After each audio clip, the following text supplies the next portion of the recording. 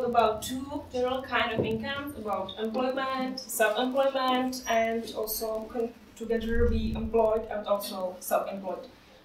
This is the exist for taxes because actually you don't have to take care about anything because during the year employer cares of taxes, health and social insurance. They every month from your salary, your employer deduct this amount for taxes, health and social insurance and they pay it and you don't have to do anything.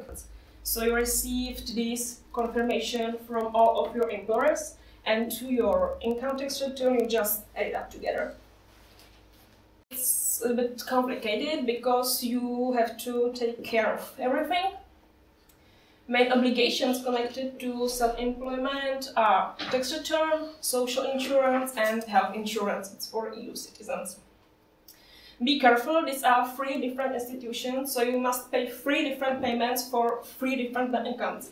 I know that, for example, in Ireland or Great Britain, people use that they pay just one payment, and that's for everything.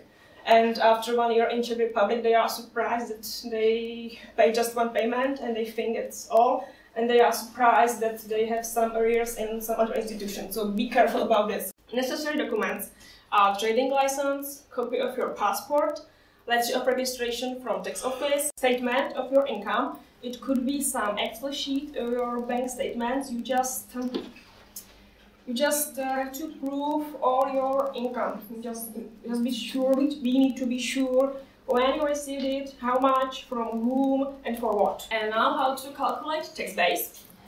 Uh, it's uh, your income minus your costs.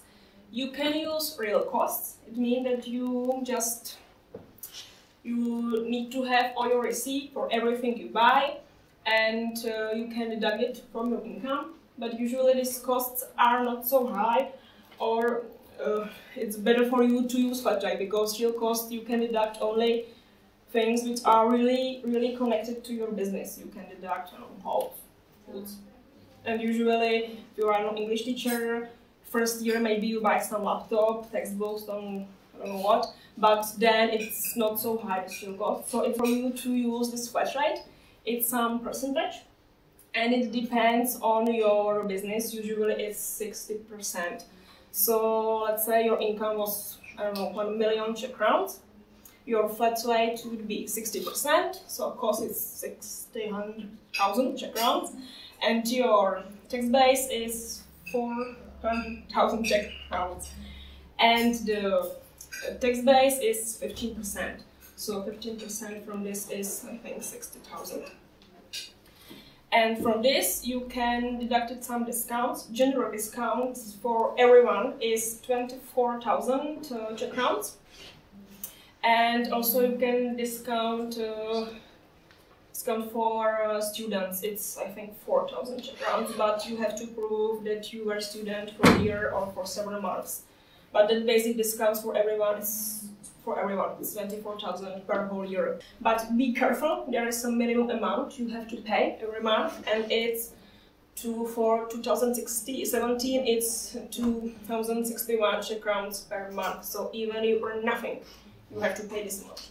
From uh, social office, you receive it uh, Usually at the beginning of the new year, there's some yeah, number you received in social office and there you can see all the payments you made during the year and according to this we, uh, you can prepare or your advisor can prepare uh, your statement for social office because here you can prove that you really paid this amount every month.